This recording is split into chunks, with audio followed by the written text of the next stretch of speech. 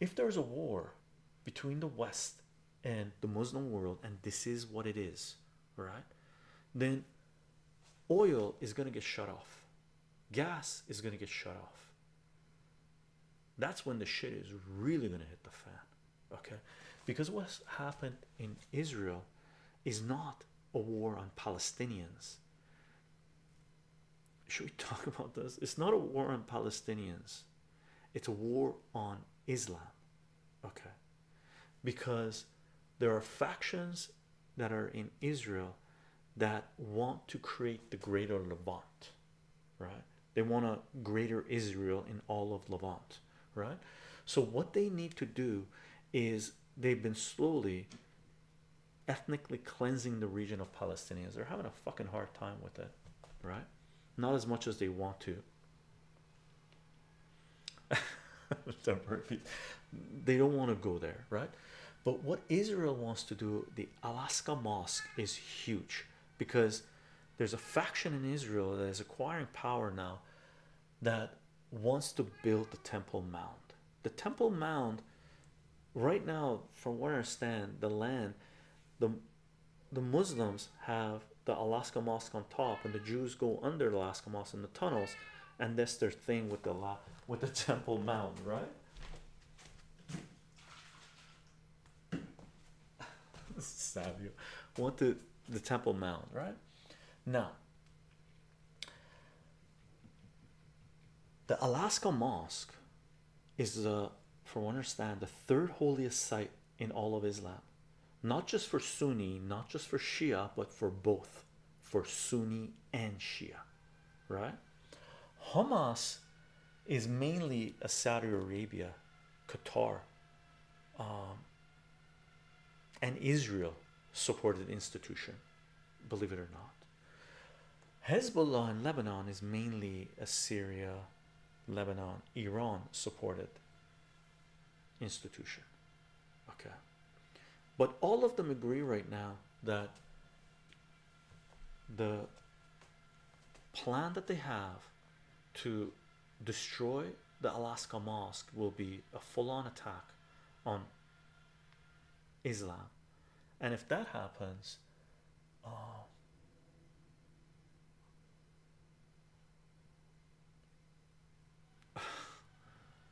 literally the world completely changes. We're in a holy war, and this is the build up to the holy war, by the way. In the Western world, there are a lot of evangelical Christian Zionists as well as evangelical Christians that they want to uh, see this come about.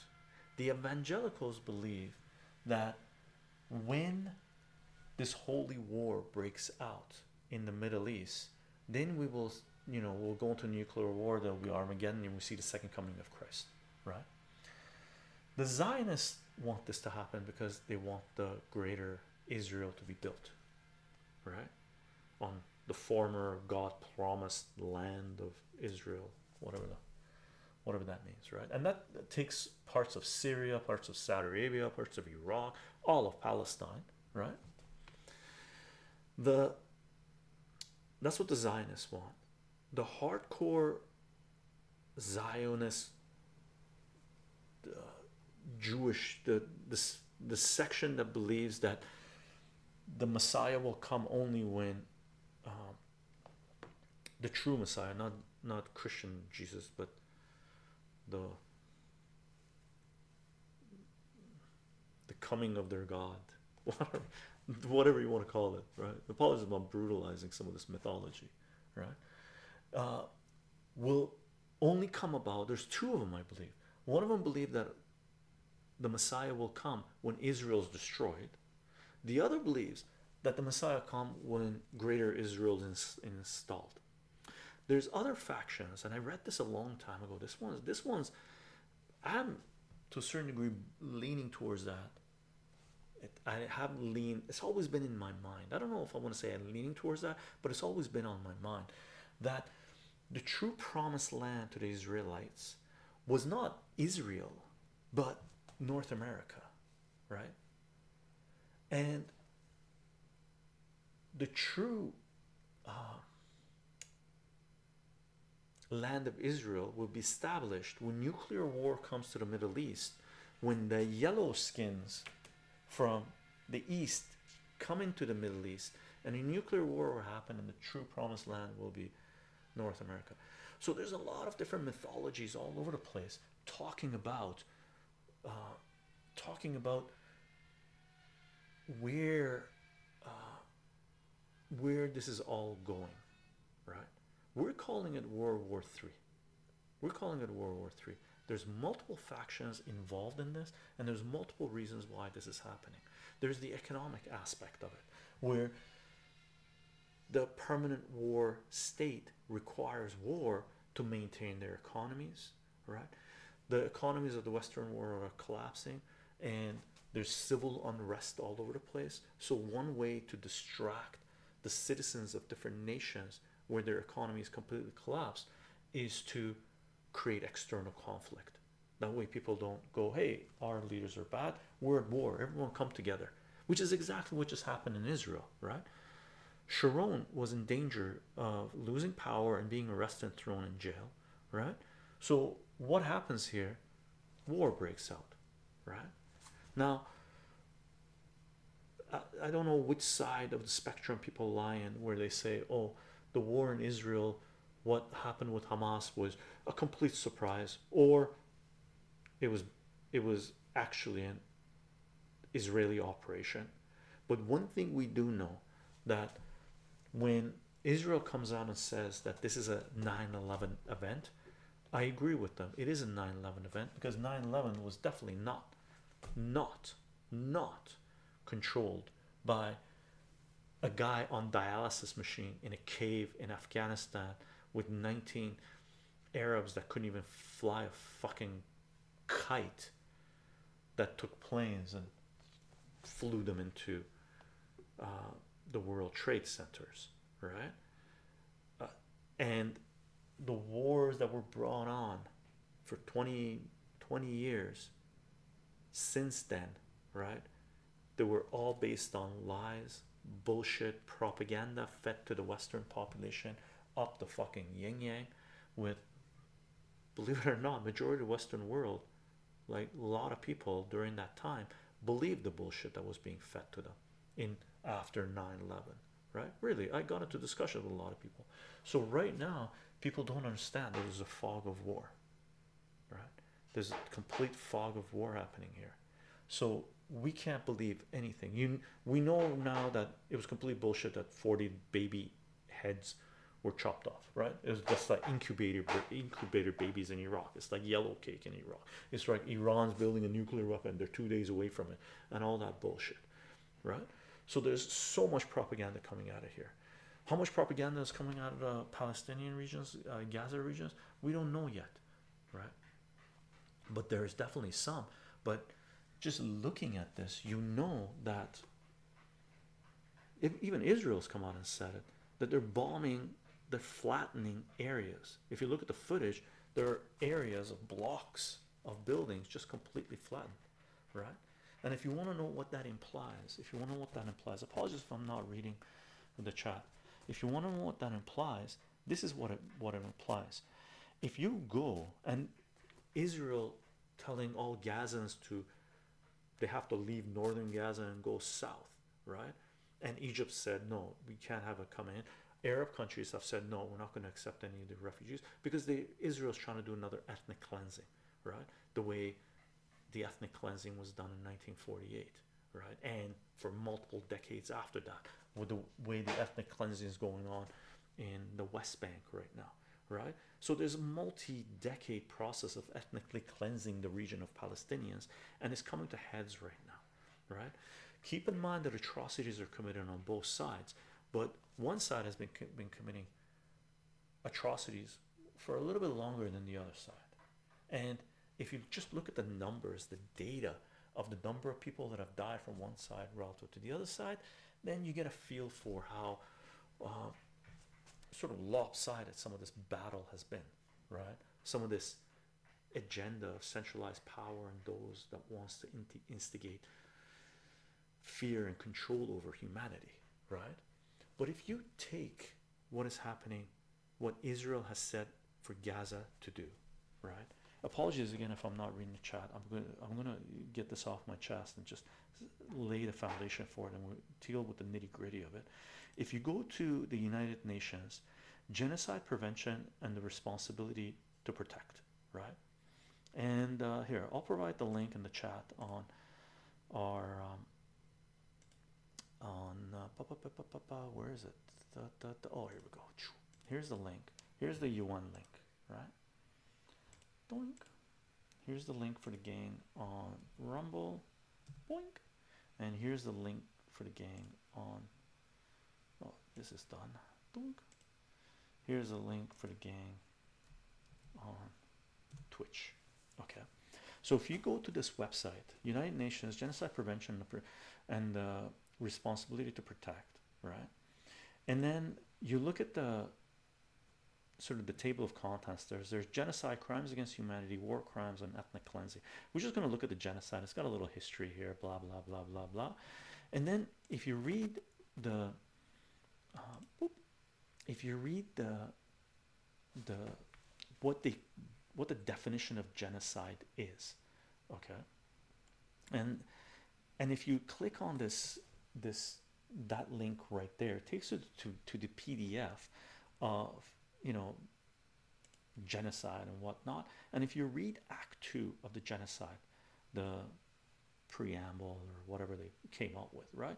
Act 2 says this in the present convention genocide means any of the following acts committed with intent to destroy in whole or in part in a national ethical racial or religious group as such. A killing members of the group. B causing serious bodily or mental harm to the members of the group. C deliberately inflicting uh, on the group conditions of life calculated um, to bring about is physical destruction in whole or in part.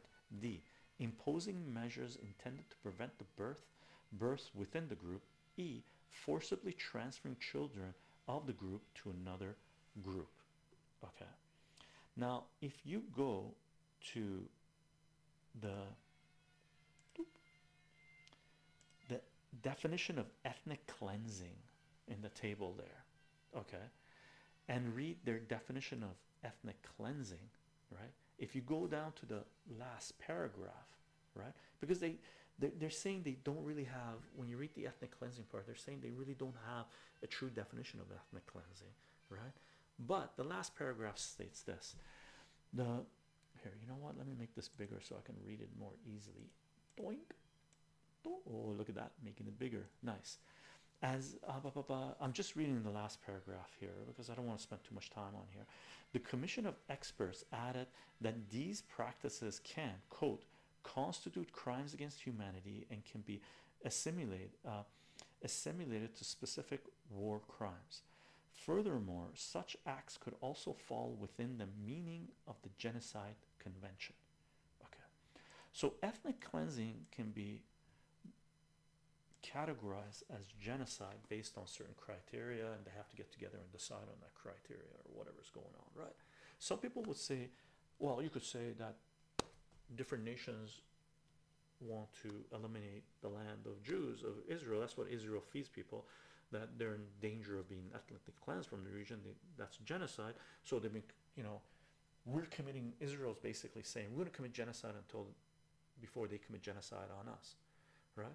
Certain other people saying, well, we're going to keep on fighting back because we're being genocided, right?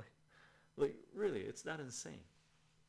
So right now, if you want to sort of appreciate the game at play, right? Uh, appreciate the game at play. For those of you who've been following this, you'll have an appreciation for some of these little little things I'm going to mention. Okay. The United Nations has stated that Israel has to remove all the settlements from Palestinian land. And Israel's got, I don't know how many settlements they have, hundreds, thousands of settlements in on Palestinian land right now. And the United Nations has stated that all of those are illegal.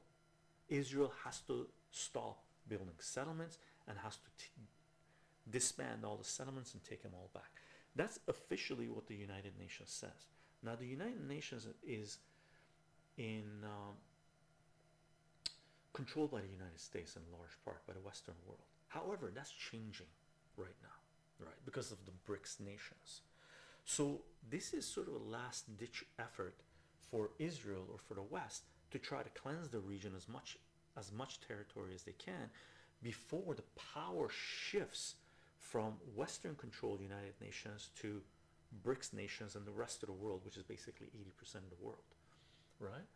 The reason they're trying to do this is because when that happens, what's been stated in the United Nations, if it still exists by the time this takes place, they will start enforcing those mandates that they've already agreed upon, right? Without the United States being able to veto it, right? So there's sort of a time crunch right now for some of the actions that need to be taken by certain factions to get a better position before they go to the table to negotiate? So that's one of the reasons that we're seeing is the shit hit the fan slowly, right? Israel, the West kept on saying that Iran was behind Hamas.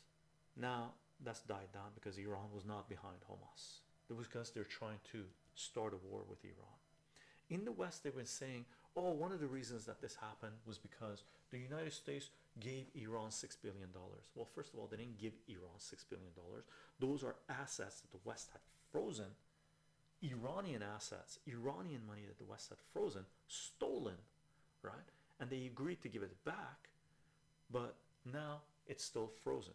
So Iran didn't really get that $6 billion that hoo-ha, corporate propaganda in the West has been saying that that's the reason that this attack happened. You should also appreciate that there's no way this attack would have happened without someone inside Israel or institutions inside Israel knowing that it was going to happen, including the United States, because again, as Israel has stated, this was another 9/11 event. This was like Pearl Harbor. They knew it was going to happen. Right? It was not They knew it was going to happen. Who was behind it? That's a good question. Everyone knows now that Hamas was really put into power by Israel. You should also know, some people say they've lost control of Hamas, so you can't hold Hamas responsible. Okay? But you should also appreciate that Israel was also supporting ISIS that was fighting against Syria, and Hamas was on the side of ISIS. Okay? Hamas was on the side of ISIS. So if Hamas was fighting against the Syrian government on the side of ISIS, Israel was supporting the ISIS fighters, fanatics, Islamic fanatics. What a trippy thing, right? So Hamas and Israel were actually allies in their opposition in their war against Syria. Turkey was also fighting Syria. So was the United States and the UK, right? They lost that because Russia stepped in. Okay, because Russia stepped in. So right now we're seeing a major ethnic cleansing, and it is ethnic cleansing taking place because two factions that were allies in their war against Syria are now at odds against each other, right? Supposedly, Saudi Arabia and Israel were in talks with the United States to normalize relations. Some people are saying this happened because Hamas couldn't allow that to happen because if that happened, Palestinians would have been thrown out.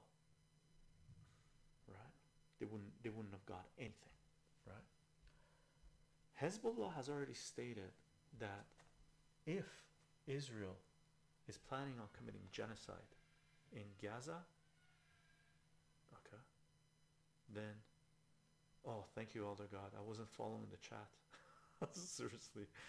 If Israel is going to commit genocide on Gaza, Hezbollah is going to get involved, right? Hezbollah is going to get involved. Iran has said that they will not stand idly by while genocide is being committed.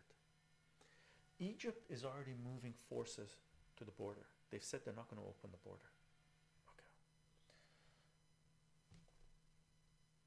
Gazans, some Gazans that are fleeing from the north to the south are being bombarded, killed. If you know anything about the Iraq War, in the first Iraq War with Kuwait, you'll know something about the highway of death. Attacking retreating forces is a war crime. Attacking civilians that are leaving war torn or war regions is beyond that. Okay. So Russia has already come out and said what Israel is doing is wrong compared to, to letting what happened in Stalingrad, right? China has already come out and said what they are doing is wrong. Okay, how could they try to ethnically cleanse a whole region? Okay. Saudi Arabia has cut ties, not cut ties, but no longer negotiating with Israel for normalizing relations. Gold is up in the last week, up about $120 uh, in just five days or so. Jumped $60 on Friday.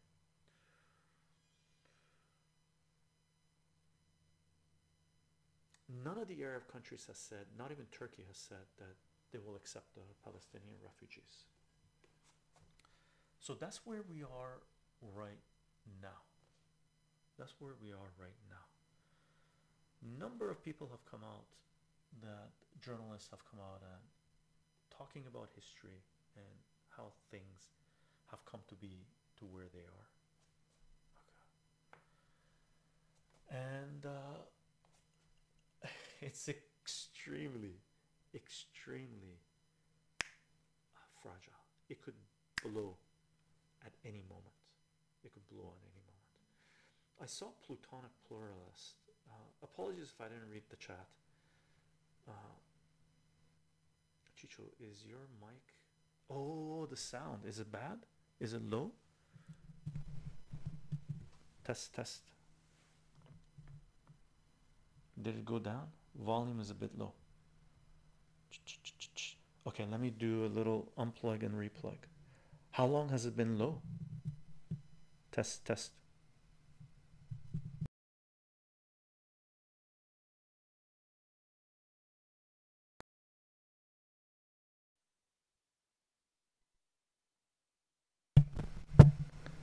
Test, test. Is that better? That should be better. Da, da, da, da. It's low for people, yeah. Audible but low. 10 minutes for about 10 minutes. Oh, that's unfortunate. So bad, so sad. Much better, yes. Oh, sorry, gang. I should have kept my eyes on the thing. What a time for it to do that. Poop. Good. Thank you. Thank you. Great. Thanks. My apologies, gang. I should have kept my eyes on the chat. There's just so much going on. I needed to get it out. Okay. Now it's uh, Gerald Surrender style. No, now it's okay. Okay, no, man. But we could still hear everything. Uh, just was quieter. No problem. Okay, could still hear the most part though. Okay. Oh, sorry, gang. It was all right for headphone users. We could hear. Okay. Nicholas chycho. It was still audible, so it's not lost. Okay, cool, cool, good. Pooper, scooper. What a time! I gotta keep my uh, eyes on that. Uh, the reason I wasn't reading the chat is because there's so much going on, right? So much going on. So that's where we stand right now. And outside, I don't know if you can hear it. They're doing construction again, so they're cutting things. The craziness, craziness. Anonymous man. Should the Geneva Convention apply to a occupied territory like Gaza that is te uh, technically not a country? Uh, what do you mean, uh, anonymous man? Uh, war crimes, crimes against humanity, ethnic cleansing, genocide. They don't necessarily apply apply to just countries. They apply to people. Okay, they apply to people. Right? They apply to people, and according to the United Nations, Israel has to remove all the settlements. That's set in stone, right? Unless there's renegotiation, right? Unless there's renegotiation, right? And keep in mind, by the way, gang, Israel in the last few months was helping Azerbaijan cleanse Nagorno Karabakh of Armenians. 120,000, 130,000 Armenians have been on the march to go to Armenia because Israel and Azerbaijan and Turkey were ethnically cleansing the region. So, if you consider this, Israel in the last few months is involved in two ethnic cleansings, right? Two ethnic cleansings. For a little country right there, that's a lot of ethnic cleansing that this country has been involved in. Okay. And it should be noted that Israel does not recognize the Armenian genocide, the first genocide of the 20th century. And some would argue that the ethnic cleansing being done in Nagorno Karabakh is could be the first largest ethnic cleansing of the 20th century, followed by Palestine, right? Okay, uh, oh yeah, I was going to answer this. Um, so Plutonic Plurals ask, should Egypt allow Palestinians to come into Egypt? And Birdie here says, uh, why do Muslim countries not let fleeing Palestinians in? Didn't Egypt have war with Israel in the past? Here, here's the reason. These countries have to also maintain their economies, make sure they have control you know of crime right? Make sure that they can feed all these refugees coming into their countries right? If you think about it in 1948 and decades after that they had the great was it called the nakba? Palestinian refugees being flooded into their nations into jordan into syria into egypt. There's a lot of refugees and a lot of the people 80% or so 70% or so. And by the way 50% of people in gaza human beings in gaza are children right? Average age in gaza is 17 years old right? 2.2 million people or so. So in 1948 right those great marches israel israelis jews i don't know what do you call it? Great cleansing of palestinians from that region and all those countries took in these refugees and there's major refugee camps in all of these countries of palestinians. How, did that help the situation at all? Did that help the situation at all? That how many decades later seven decades later you, the world israel and the united states are expecting these countries to take in all of these refugees because israel wants to cleanse the re, uh, region of palestinians? Remember when the Western worlds went into Iraq, Syria took in 2 million Iraqi refugees or so. That's a huge economic burden on a country, right? Look at the shitstorm happening right now with all of Europe, the richest place in the world, the, the garden relative to the jungle, right? As the European leaders would like to call it. There's a few million refugees in all of Europe, all of Europe, and the shit is hitting the fan right? The shit is hitting the fan, right?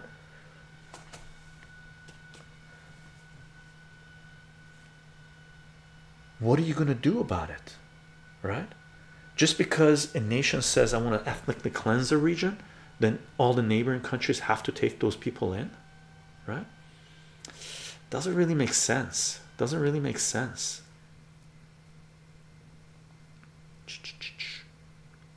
First time chat. Vaughn, you Annan Sudden. I don't know what that means. Six Day War, Plutonic Rich Muslim countries like Qatar and Saudi Arabia don't want refugees who could destabilize their societies and rule. Yeah, and most of these monarchies and kingdoms and stuff, they don't really represent the people, right? Like Saudi Arabia, for decades, it was installed by the West. Same with Kuwait. I mean, geez, Kuwait the deal Kuwait had during the first Gulf War was all their royalty flew over to Europe and the United States, and Europe, UK, and the United States said, "Oh yeah, we'll get Kuwait back for you, but we want half of it, half the revenues, right?" So they're monarchies, they're puppets, they're kingdoms. They don't really represent the people, right? Hey, is that what the Israelis want? The Palestinian land? Da, da. Nicholas chycho, thanks for the stream. Peace, chat, and mods. Hope to be back soon. Awesome, Nicholas. Thank you very much. I hope uh, you have a fantastic week. Fantastic week. First time chat, Dalf. They're trying to build a prison for me and you to live in. Right? Garbage truck. Dancing vigil. It's someone doing cutting or something. This construction. It's crazy. It's crazy. Uh, Birdie here. Uh, so the neighboring countries are essentially saying we uh, where'd it go? Are essentially saying we shouldn't take them in as this shouldn't be happening in large part, and you can't like just like there are homeless in our city. I'm pretty sure if you live in the Western world, there are homeless near you. Can you just open your doors and let the homeless into your house and just start feeding, giving shelter to all, all the homeless? It just doesn't work. It doesn't work, right? It doesn't work. Is one of my windows open? Can you guys hear the sound? Nah, it doesn't looks like it's too loud. Da, da, da, da, da, da, da. Behind their empty walls, my bad. Dalf. That seems. I'm at a cafe and a garbage truck was uh, stuck in traffic. Oh, that's what it is. Okay, good, good, good. Uh, Ryan MC. Iran is watching what's happening very closely. Indeed, indeed, indeed. And by the way, the attack on Armenia, Nagorno-Karabakh, and the little piece of land there that connects Turkey and Azerbaijan that Azerbaijan says we want, Turkey says we want, Iran has said you ain't gonna get it. Azerbaijan is funded by Israel because because it is also an attack on Iran, and that is not lost to Iran. Iran knows this that uh, Israel just attacked Iran in the north, destabilized northern Iran, the border, right? That is not lost to Iran.